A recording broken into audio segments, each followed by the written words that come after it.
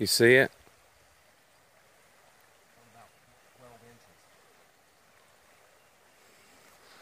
Can you swoop around? Oh, okay, we'll just keep coming in. Because that big fish is going to be in that root wad. If you can just get where you can flip in the front of it.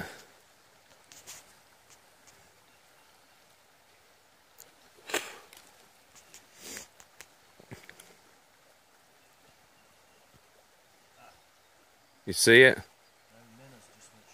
That's all right. That's all right. Just flip it in there. I Just take your time. It didn't alarm him the other day whenever I spooked those minnows.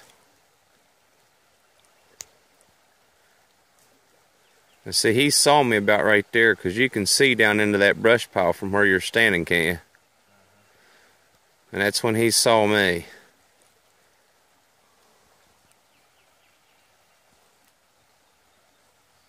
Oh, there he is. He's got. Oh, Ferguson.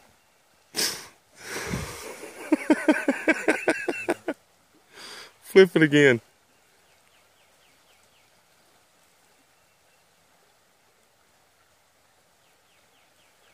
He's done, isn't he?